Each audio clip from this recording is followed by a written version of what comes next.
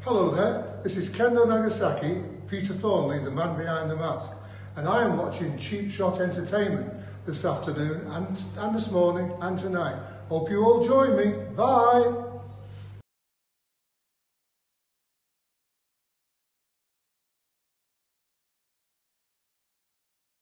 Promotional consideration paid for by the following. This is awesome!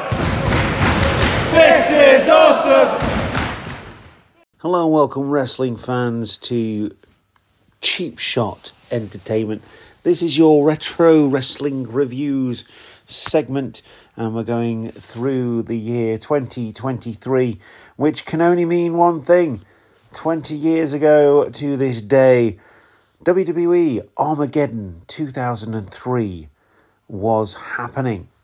And obviously it was a pay-per-view back then. It wasn't a premium live event. It was a pay-per-view and on the on december the 14th wwe rolled into the orlando arena or the td waterhouse center and it is the fourth edition of the armageddon pay-per-view. It is a raw exclusive this time as the brand split is very much in effect.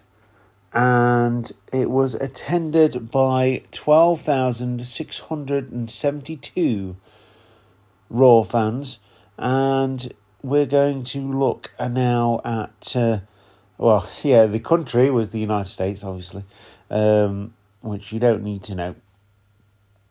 And it was, of course, on demand before the network, and it is available on the network as well. The music theme song is The End by Jim Johnson. And in a turn of events, we've got quite a few games that this particular pay per view set appears on.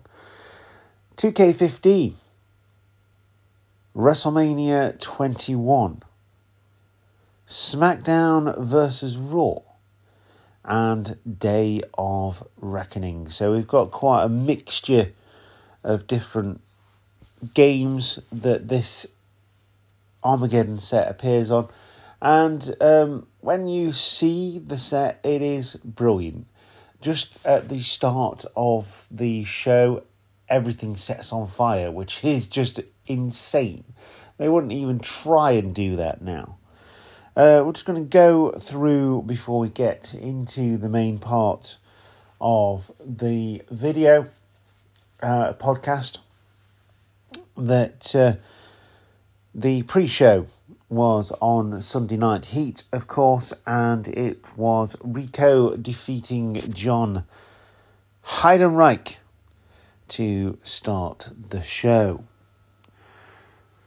We move swiftly on. Obviously, JR and the King are on commentary and they are introduced after Lillian Garcia gives a performance of America the Beautiful, and that is in between. Uh, sorry, in between that, we've got the um, amazing package, the promo package uh, that WWE used to produce uh, in terms of the namesake of the show and, and saying this is what's going to happen, and it was great. Um, so, yeah, opening package, spot on. Can't be said for the opening match though. I didn't really care for this one. It obviously been it obviously been built up from the Survivor Series where Mark Henry eliminated Booker T with the World's Strongest Slam. Uh, since then, Teddy Long has uh, started accompanying the World's Strongest Man down to the ring, getting in his head. You know why? Why does why does the man keep you down? That was his thing at the time. And Booker T is just being Booker T. He's very face at this point in time as well after his massive feud with Stone Cold Steve Austin during the invasion, etc., etc., or just after the invasion, rather. And um, yeah, it was pretty standard match, uh, contrasting styles, which uh, which was interesting. Mark Henry more sort of grounded. Obviously, the power game comes into play, whereas Booker T does have the power, but he also has the speed and the agility as well as having to contend with Teddy Long uh, on the outside. But it would be uh, after two scissor kicks, and no one gets out of two scissor kicks, of course, that uh, Booker T would pick up the win after a an okay match. And I'm just going to say it was okay. It didn't have anything flashy in it. Um, I think the flashiest thing was the scissor kicks because Mark Henry did ground and pound on Booker T um, to have most of this match realistically. Um, to uh, uh, you know get to the end point, like I say, it would be Booker T who would pick up the victory in this one. Um, and I'm going to give this one, yeah, it's not a great opening. I'm going to give it a two cheap shots out of five. Um, but we would, is if I remember correctly, we would move on to better uh, matches than this one. It's always difficult to start. I'm going to give them a, uh, a props for doing so. But usually, the starter match is one that you want the crowd to be fully behind. And although they are behind Booker T and against uh, Mark Henry, there is some bits that are just missing in this match for me. So, two cheap shots out of five. We go into the back now with Eric Bischoff saying, That's not how I wanted to start the show. Christian and Jericho come in and thank Mr. Bischoff for setting up the uh, War of the Sexes, I think it's called this one, uh, as they go against Trish and Lita in a match. Uh, I did say earlier that the matches would get better, but uh, yeah, um, there you go. Uh, and um, just as that's happening, Mick Foley makes his entrance. His entrance theme hits, and he makes his way down to the ring with Mick Foley's entrance music hitting, and he makes his way down to the ring, only to cut promo saying that he would be usually be in Long Island with his buddy Chris, mentioned in his book Have a Nice Day, watching the pay per view in Long Island, but unfortunately today he's right here in Orlando, Florida. Cheap Pop, of course, is the order of the day, and I'm not talking about Panda Pop either. That is a reference for the UK fans. Anyway,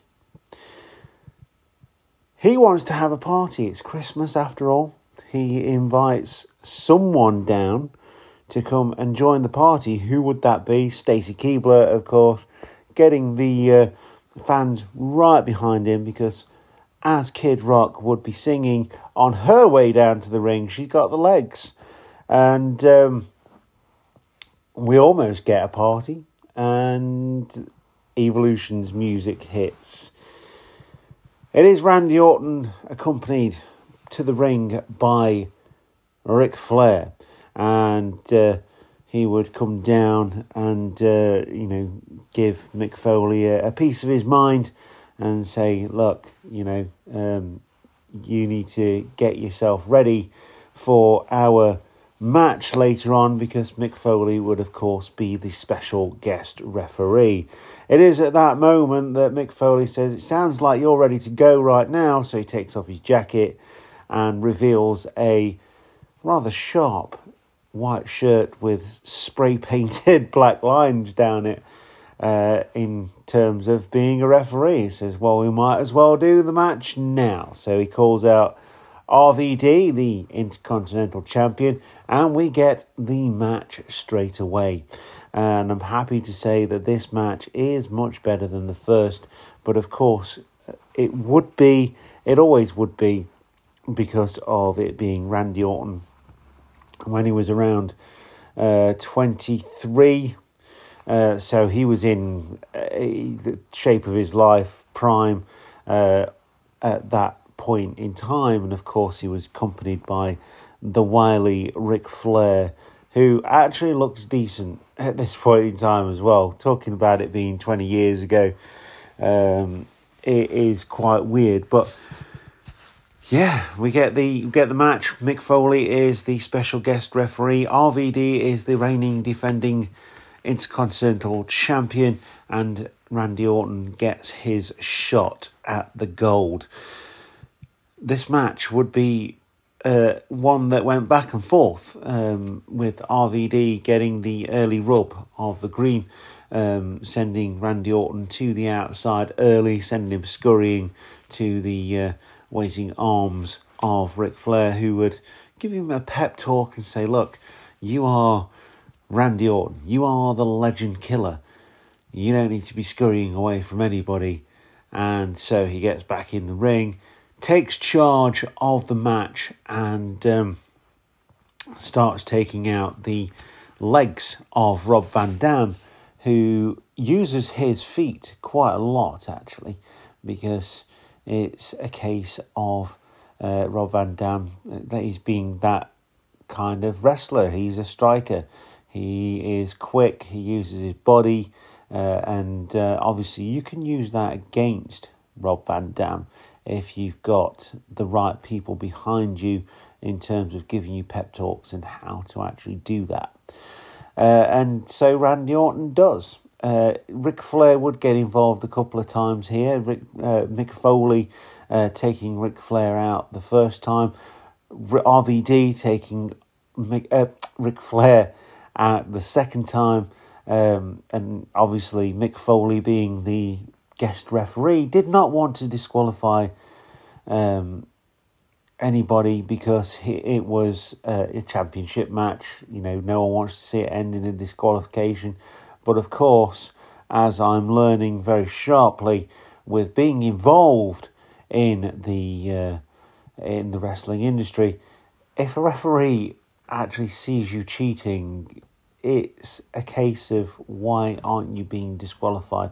I think sometimes you can gloss over it, but it is all about timing. And uh, Ric Flair yeah, he probably didn't care to be honest with you.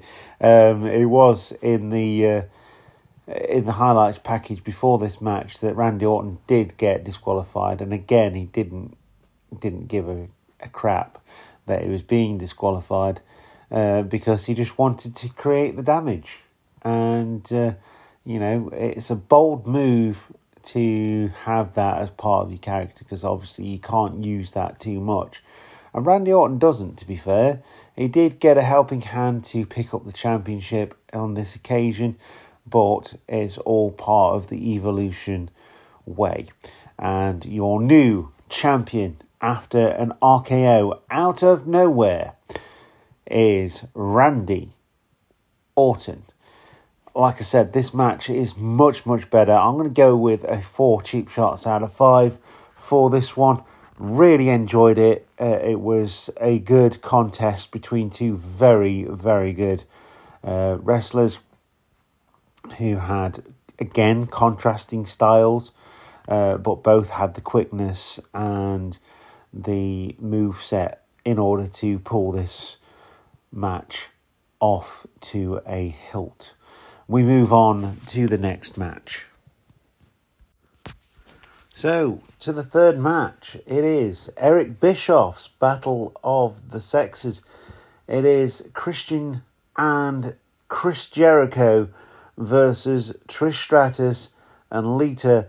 And the storyline that goes along with this match is that Christian and Jericho had a bet to see who would get lucky first for one Canadian dollar.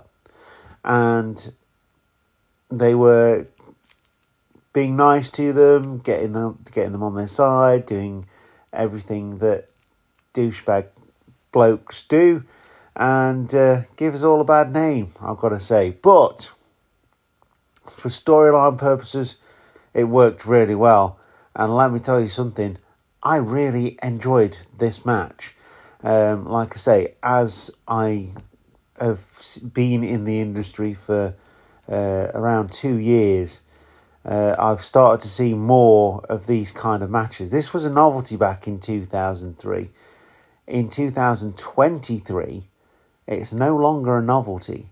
You quite often get the guys going against the girls and the girls coming out on top, um, which is great because that is showing that you know there's equal uh, opportunities in the wrestling industry. Sadly, there's a lot of other bits that I won't mention on this podcast now, but this match is great. I really enjoyed it, um, and the reason that I really enjoyed it is because Jericho was playing the sort of um, he was playing a character that was regretting his decision to uh, do what he's ended up doing with his buddy Christian and uh, having that bet, and he was, had genuine feelings for Trish and all this kind of stuff. And um, there was a lot of regret throughout the whole thing. He wouldn't hit Trish, but he did quite often go for Lita, for example. But on top of that, the ladies got their stuff in. They were given a really good rub of the green here, and uh, they they were, you know, on top of this match for quite long periods of time because, um, you know, they were given that opportunity, and I thought that was absolutely fantastic. Um, and you couldn't have any better two opponents than Christian and Jericho in that sense because they are safe workers. They are willing to do anything to put on a good match, and they often do put on good matches. I actually can't think of any match in recent history that Christian or Chris Jericho have not been really good in, and that's like I say, that's recent. Christian is the uh, TNT champion, I believe, now on AEW. I don't really watch it. Uh, and and obviously Jericho was the first ever AEW champion, so he was putting on really good matches as well. And these guys are, you know, um, at least approaching their fifties, which gives me a little bit of hope in terms of actually having a match. Although I did have a match last week, so yeah, you know these things. At this point in time, these guys were in the twenties, um, so you know, no better people to go against than Jericho and Christian, and, and kudos to them. But I'm going to give the props to the ladies here because they did everything. Um, they sold everything. Um, there was obviously that play on the strength difference as well, and the fact that Christian and Jericho had to cheat uh, to get the advantage in this match. There was a like I say, there was a lot of that power game. There was a couple of um, hurricane runners and all that kind of stuff. Some near falls for the ladies as well, which is great because it just shows how um, the industry has come on uh, in in a short space of time, uh, circa two thousand three. But unfortunately, it would be um, Jericho who would cost Trish and Lita the chance to win this match because Jericho was having his regrets. He picked Trish up off the floor, um, having had Christian uh, hit her with a, a big, big move, and um, you know, say you could obviously say tell that he was saying you know he was sorry and all that kind of stuff, but Christian doesn't give a crap. So uh, at that point, he would roll Trish up and get the one, two, three. Christian celebrates like he's won the Super Bowl, and Jericho still has those thoughts where he perhaps shouldn't have had this match ever, and he should never have made that bet. But I'm I'm going to go ahead and give this match a four cheap shots out of five because I thoroughly enjoyed this match, the structure of it, the way it was done, and everything about this match, including the people that were in it. Uh, and that's a big shout. Moving on to the next match, it features Shawn Michaels and he is going against Batista, who is accompanied once again by Ric Flair to the ring. Uh, another match with a contrast of styles. Obviously, Batista being strong, powerful, he is also quick. Shawn Michaels coming back from an injury a couple of years earlier. Uh, still, uh, obviously in uh, a lot of pain with the uh, with the back injury. He can't ever shake something that big. Uh, but he is going for it and he's doing really well at this point in time, two years into his second run with the WWE. And going against Batista, who is the beast. He is an absolute monster when he was with uh, Evolution. And to say that it was not supposed to be Batista that uh, was going to be part of Evolution, it, it, it almost seems just insane now.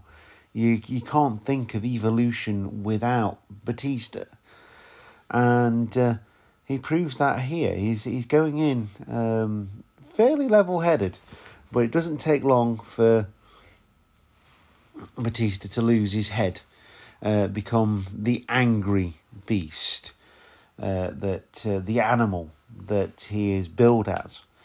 Uh, Shawn Michaels frustrating him all the while until Batista finally does snap and gets the better of the high flyer Shawn Michaels, who's having uh, a tough time against the uh, power advantage that Batista has here. Uh, Batista, uh, like I said, use, using his power, uh, whereas Shawn Michaels is always looking for that opportunity, always looking for that opening. He does drop an elbow. He does go for the sweet chin music, and he doesn't hit the sweet chin music, for, only for Batista to decimate the Heartbreak Kid. Of course, Ric Flair does get involved in this match. Uh, he gets a clock to the jaw for his trouble. He's not having a good night in terms of getting beaten up. Is Ric Flair as a manager on the outside of the ring? Um, but it would be Shawn Michaels who would come away with the victory, leading to a larger storyline throughout the night with a sweet chin music, with uh, Shawn Michaels just falling on top of his prone opponent and uh, getting the one, two, three. Again, I really enjoyed this match, but I'm going to give it a three and a half cheap shots out of five because I feel like because of the long term storytelling throughout this show that it was cut a little bit short. We then get Maven's music. Batista's still in the ring. He's still pacing about. He's still really angry that he lost the match, uh, as Ric Flair uh, tells him they didn't win the match. Maven's music hits. He comes out and he's like, "Oh yeah, wee woo, yeah, I'm here," uh, uh, and uh, walks down to the ring with a degree of concern on his face because the animal is still in the ring. Uh, he waits on the outside and. Um, Matt Hardy's music hits, and uh, he would come down, attack Maven, throw him to the wolves, so to speak. Uh, Batista taking his frustration out on the upstart from the original version of NXT known as Tough Enough. They did try and bring that back uh, a little while ago. Didn't quite work because obviously they had NXT, and obviously NXT started out the same sort of style as Tough Enough, but then became a brand of its own and just became developmental. So rather than it being a TV show, a reality TV show, which was big at the time, and uh, just becoming the NXT brand, which is much better. Uh, so yeah, uh, Batista lays out Maven with a Batista bomb, and of course Matt Hardy uh, is declared the winner. But he's not having it that way. He wants the referee to count the pinfall. So he covers Maven, uh, gets the referee to count, ring the bell, count the pinfall, uh, and announce him as the winner because the referee said, "No, he can't. Com- he can't compete. Not in this condition. Matt Hardy's not having that. He's version one." So I can't really give that match a rating, but it, it is good to uh, sort of have that segue uh, as we've had a couple of really good matches beforehand. Um, next up is the tag team turmoil. So we move on to the next match, and it is the tag team turmoil match. And we start off with La Resistance and Hurricane and Rosie. Uh, two very contrasting styles. Obviously, the La Resistance have tasted tag team gold in the WWE before, uh, but the team now is Rob Conway and Rene Dupree. So, a bit of a change of uh, personnel for La Resistance, and that does show in this one. Not quite the chemistry that Rene Dupree had with Sylvain Grenier, but um, they still managed to make it work. Not well enough, it seems, as Hurricane and Rosie do get the pin on La Resistance with a flying splash from Rosie's shoulders. And let's remember that Rosie is currently a superhero in training, uh, or shit for short. Um, I always found that really, really funny. Next team, Jindrak and Cade uh, would come down to the ring. Well, they'd say they come down to the ring. They would attack Hurricane and Rosie from the crowd as they were looking up the ramp, and uh, subsequently get the pin. Um, so Hurricane and Rosie are out next. Um, we would then get uh, Venis and Storm coming down to the ring with the ladies, of course. Um, Val Venis trying to make Lance Storm seem less boring by bringing out uh, two lovely, lovely ladies with them. Um, and they stand round ringside, and quite frankly, I would be really annoyed if I'd paid for front row seats because I wouldn't be able to see anything. However, would get uh, lady parts instead.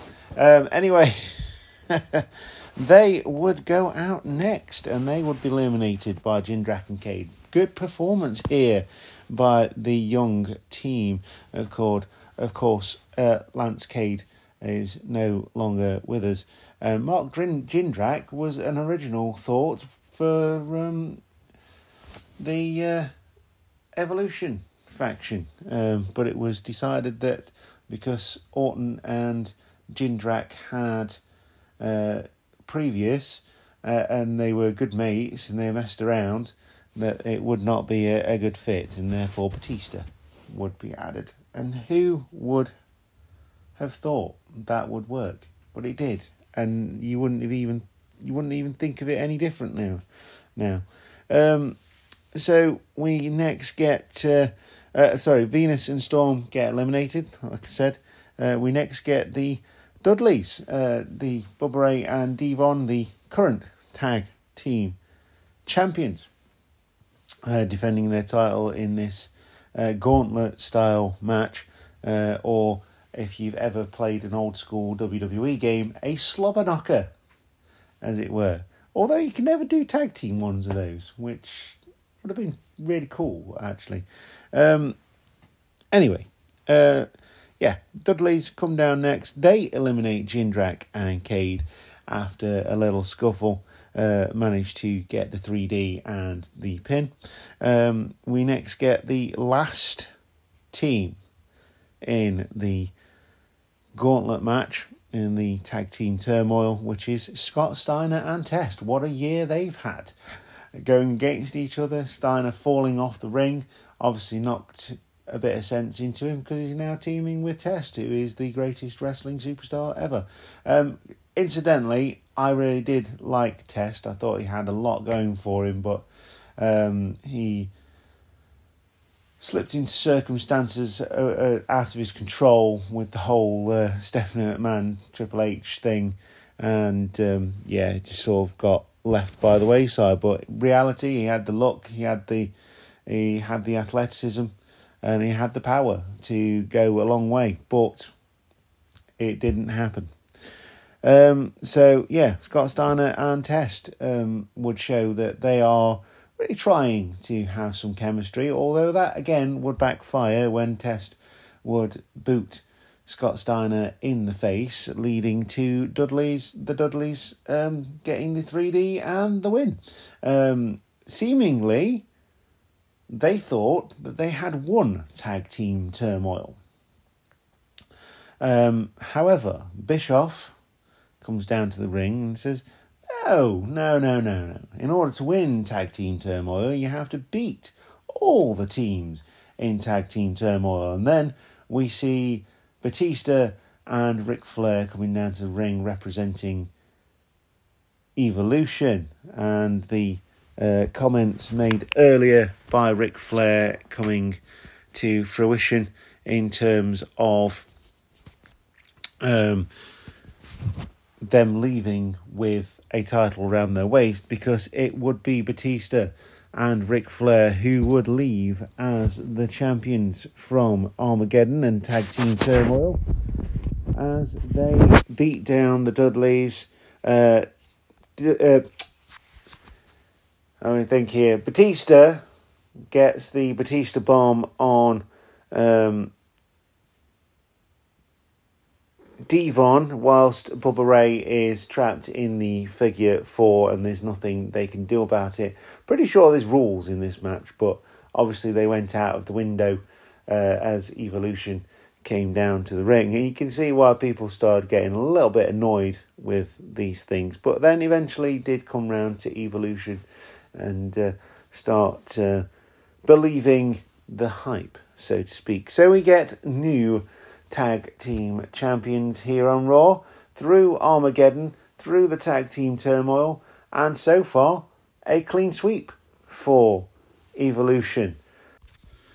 Next up at Armageddon, we have a women's title match featuring the women's champion Molly Holly defending her championship against Ivory. This one was a blink in you'll miss it kind of affair, which is utterly disgusting considering that it's Ivory and Molly Holly, two women who could vastly be considered as starting the actual women women's evolution um, way back in 2003 and earlier. Um, but it would be Molly Holly who would retain the championship um, with a Molly go round on Ivory. Like I say, blink and you'll miss it. It is a shame um, because I think these two could have had a decent match given the time. But I'm not gonna I'm not gonna be harsh on them. I'm gonna give it a two and a half cheap shots out of five. They did everything they could with the time that they were given and told a decent story. That being said, it was billed as a oh hold on a second, we've got an impromptu match coming. Um, so yeah, I mean, uh, I don't think it, it gave the fans enough time to get ready for this match by any means, but that's WWE for you in the year 2003. Um, we move on to the next match. So there's only one more match left, and that would be the multi man triple threat match between the current reigning defending champion Goldberg, Triple H, and Kane, and that is for the World Heavyweight Championship. Um, incidentally, I will say this. Um, this match is probably the best match of 2003 involving Goldberg and Triple H, simply because it had that extra element in it. Um, there is the stare down at the beginning, and I think that's a lost art in professional wrestling these days, much like the lockup. Um, there's no establishment of what the storyline is, no stare downs, things like that. But that is definitely something that should frequent wrestling, not frequent, but obviously be used in certain situations.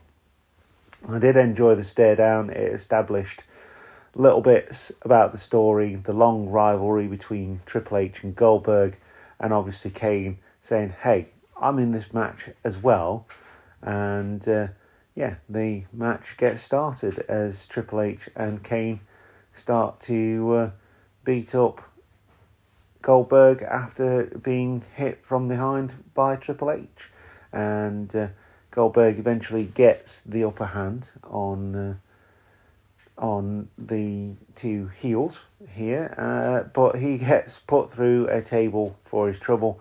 Kane gets smacked in the head with a chair as Triple H brings in the first weapon, uh, thrown into the stairs just after he's put Goldberg through the table for the second time because the first time it didn't break, and uh, Goldberg laying out.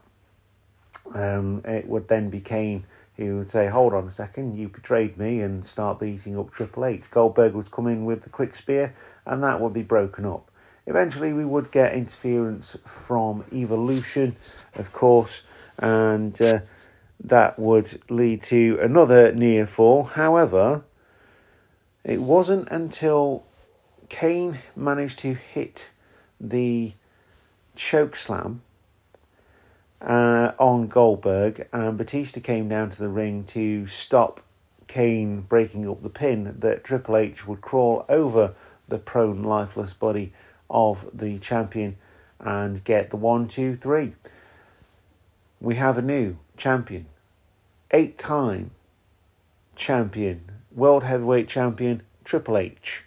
Um, a year long feud that um, culminates at the end of the year. Uh, I enjoyed this match and I'm going to give it a another four cheap shots out of five. I thought it was a really good triple threat match. It had the right amount of let's face it, triple threat matches don't have any rules. So it had interference where it needed it. It used chairs and tables and stairs sparingly, but it did they did get used. One thing that I've noted here actually is that they did not use a sledgehammer. Go figure. Um, but yeah, there, there was no sledgehammer used in this match, but Triple H wins. Um, like I say, four cheap shots out of five. Overall, Armageddon Great way to finish the uh, the year for WWE. Uh, good pay per view. Some down points, some very good high points, and uh, overall we get to see Evolution celebrating at the top of the ramp with all the gold, and uh, yeah, that's good. We go into two thousand and four with all new champions on Raw, apart from the women's champion, who is still Molly Holly. Um, yeah, Armageddon. Good pay per view. Anyway, if you enjoyed this review, please do follow the podcast and the uh, podcast on YouTube as well and uh, we'll be going into 2004. We'll still be doing all of the retro reviews for you. That is Lacey the cat. If you like Lacey and you like cats, drop a like and uh, leave a comment. And uh, yeah, going into 2004 with uh, new champions, as I say. Anyway, have a great uh, festive period and great new year, and I will see you next time, wrestling fans. Thank you very much for joining me on Cheap Shot Entertainment. Goodbye.